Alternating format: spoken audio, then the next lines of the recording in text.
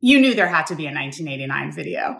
So Taylor has finally released 1989 Taylor's version. Taylor has been re recording her album so that she can own the masters. But in order for her to do that, she has to change some of the songs in order to avoid copyright infringement.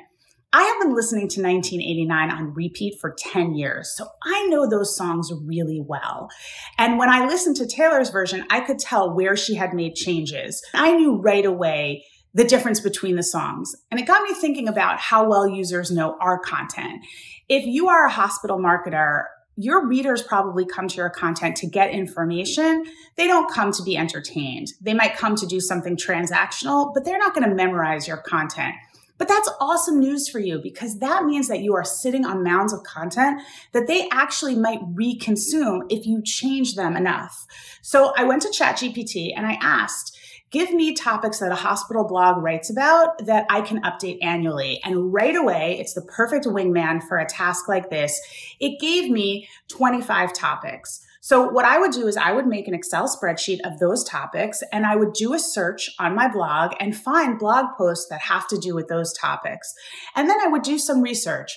Have medical guidelines changed on this particular topic? Is there a way for me to combine some of these blogs and republish them? Is there a way for me to add new content that we've created over the past year or to plug a service line or a new doctor? And then I would republish that blog. If you change enough of the content, it's not duplicate. And the next best thing this does for you is that you can build a library of content centered around certain topics, which will give you a really a nice amount of SEO kickback juice.